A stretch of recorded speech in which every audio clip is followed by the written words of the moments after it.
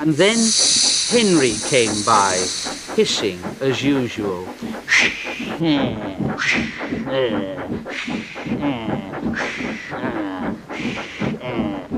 But Percy just went.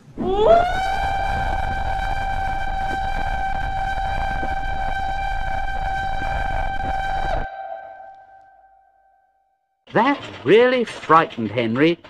He jumped and ran away.